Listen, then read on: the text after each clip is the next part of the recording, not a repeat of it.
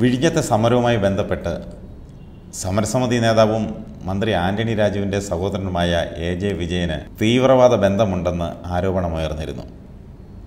ഈ ആരോപണം ഉന്നയിച്ചത് ദേശാഭിമാനിയും പാർട്ടി പ്രവർത്തകരുമാണ്. ഇതിൽ പ്രതികരണവുമായി മന്ത്രി ആന്റണി രാജു തന്നെ രംഗത്തെത്തിയിരുന്നു.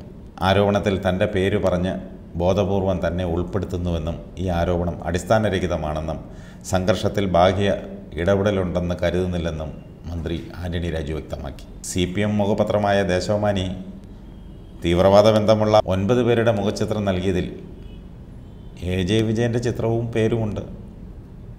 അങ്ങനെയാണെങ്കിൽ തന്റെ സഹോദരന് തീവ്രവാദമുണ്ടോ എന്ന് മന്ത്രി ആന്റണി രാജു വ്യക്തമാക്കണം. ചിത്രത്തിലുള്ള മറ്റൊരു വൈദികൻ കഴിഞ്ഞ തെരഞ്ഞെടുപ്പിൽ ആന്റണി രാജുവിന് വേണ്ടി പരസ്യമായി പ്രവർത്തനം നടത്തിയ ആളാണ്. ഇതിലാര് പറയുന്നതാണ് വിശ്വസിക്കേണ്ടത്? ദേശാഭിമാനി പറയുന്നു തീവ്രവാദ ബന്ധമുണ്ടെന്ന്. മന്ത്രി ആന്റണി രാജു പറയുന്നു അങ്ങനെ ഇല്ലെന്ന് ദേശാഭിമാനി സി പി എം മുഖപത്രമാണ്. ദേശാഭിമാനി വ്യാജ വാർത്ത പ്രസിദ്ധീകരിക്കാറില്ല. അങ്ങനെയാകുമ്പോൾ ആന്റണി രാജു പറയുന്നതല്ലേ? തെറ്റ്. പാർട്ടിയും പാർട്ടി പത്രവും പറയുന്നത് വിശ്വാസമില്ലെങ്കിൽ ആ പാർട്ടിയും പാർട്ടി പത്രവും ഭാഗമായുള്ള മുന്നണിയുടെ സർക്കാരിൽ നിന്നും എന്തുകൊണ്ട് ആന്റണി രാജു രാജിവെച്ച് പുറത്തു പോകുന്നില്ല? വിശ്വാസമില്ലാത്തവരടുത്ത് എന്തിന് കടിച്ചു തൂങ്ങിയിരിക്കുന്നു? അല്പമെങ്കിലും ഉളുപ്പുണ്ടെങ്കിൽ രാജിവെച്ച് പുറത്തു പോകണം.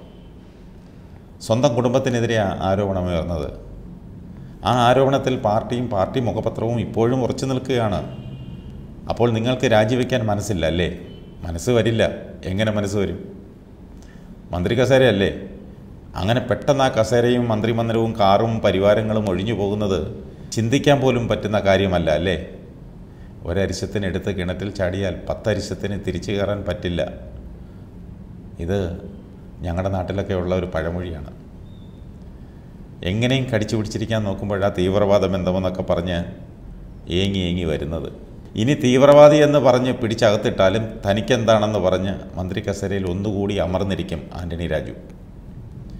ജെട്ടിക്കള്ളൻ എന്നൊക്കെ വിളിച്ച് കോടതിയിൽ കേസൊക്കെ വന്നിട്ടും ഒരു തരത്തിലാ പിടിച്ചു നിൽക്കുന്നത് ഒന്നാമതേ അരമന്ത്രിയാ. രണ്ടര വർഷം പൂർത്തിയാകാൻ കാത്തിരിക്കുക സി പി എം പിടിച്ച് പുറത്താക്കാൻ. അതുകൊണ്ട് എങ്ങനെയും രണ്ടര വർഷം പൂർത്തിയാക്കിയിട്ട് വേണം കളത്തിലിറങ്ങാൻ.